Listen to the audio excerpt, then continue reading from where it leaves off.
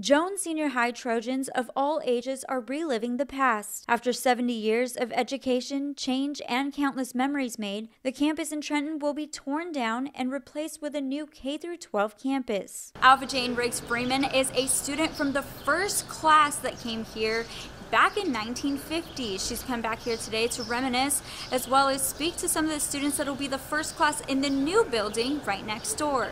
It is a blessing to be able to come back this many years, you know, and see it. Even though it's going to be tore down, still see it for the last time. Donnie Kuntz says he remembers playing on the Trojans football team in 1972 just after the school integrated in 1969. We came out uh, at a victory over that, and um, and I just I just thank God for uh, allowing this to happen. That knowing that no matter what color you are, you all can work together, you can play together, you can live together, and bring peace at the same time.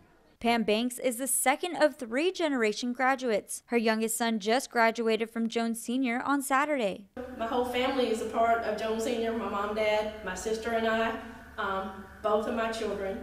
So it's just kind of neat to have a little tie to everything.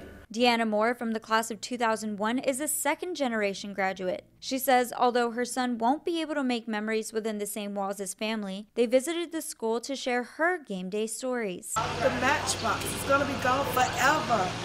Our iconic Matchbox. We had some great rival games against Pamlico, West Craven.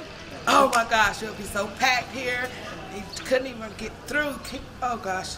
Mary Murphy is a graduate of the class of 93. She, along with three other classmates, visited together and spoke about some of the changes the school made over the years, including the addition of the front wing. How the um, smoking pad that was here, how that's changed over the years, how there used to be trailers on campus. Murphy now teaches at Jones Senior High and says moving to the new school is like taking her agriculture class to a whole new era. It's just totally different. The technology is just so awesome now.